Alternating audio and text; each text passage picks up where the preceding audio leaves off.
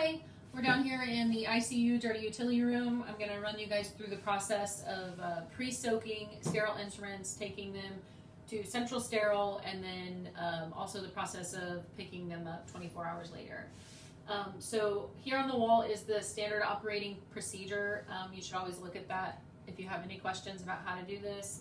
Um, so we have a dirty instrument at the bedside. Um, so we're going to start in here in the dirty utility and get the um, biohazard box and we're going to take it into the bedside. Once we get into the bedside, we'll show you the process of um, getting the instrument, bringing it back in here, um, pre-soaking it, and then taking it to central sterile. Okay, I'm in at the bedside. I've got my dirty instrument here.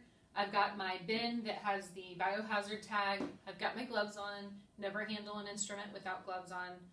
I'm going to remove my lid. I'm going to open my instrument and lay it in the bottom of the box and put my lid back on. And then I'm going to take this container back to the dirty utility to pre-soak it. Okay, we're back in the soiled, soiled utility. Um, I've got my instrument in my box. I've put on a uh, fluid shield mask. You have to wear one of these when you're cleaning an instrument so you don't get splashed in the face. I've also put on a clean pair of gloves and I'm going to take the lid off my container.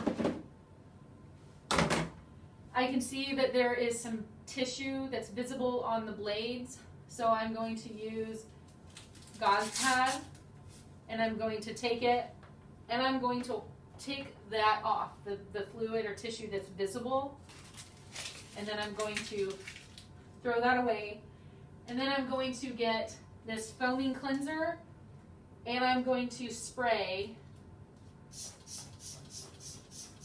with the blades open. You have to make sure that they're open. I'm spraying that and then I'm putting the lid back on.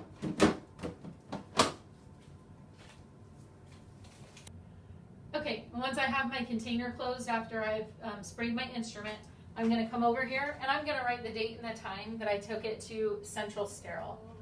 Um, and then I'm going to go ahead and take the box down to Central Sterile and we'll show you where that's located. Okay, so now we're bringing um, our instrument to um, Central Sterile Decontamination. This is the hallway leading to the ER. So if you'll look that way, you can see you go left and the ER is just down the hall. Um, and on this door, it says CS Decontamination. It does say for clinics, however, it is meant for all of everyone to bring their stuff and drop off here. So you're going to badge into the room, open the door.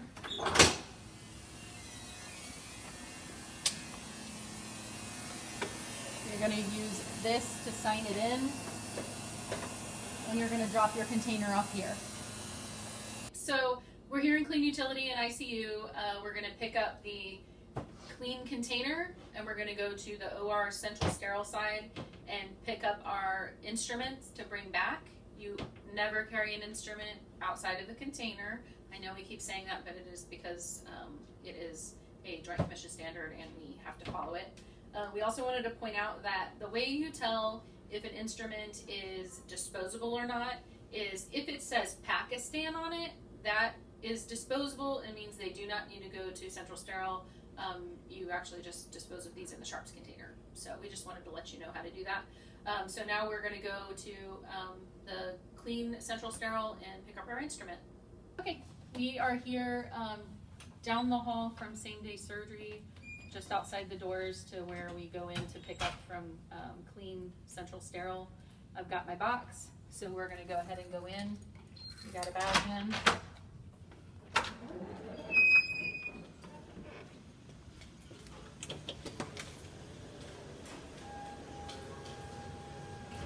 And then you come right outside this door, and you can ring the doorbell, and get your container, and they'll put your instruments in your container for you to pick up.